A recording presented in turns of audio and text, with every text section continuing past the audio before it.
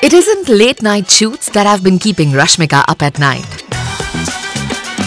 It's the spectacular viewing experience of her new Epson home theatre projector. Like Rashmika, watch your favorite movies, TV shows, and sports on the big screen at home.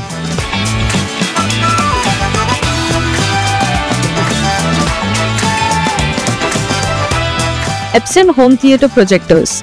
It's the godfather of entertainment.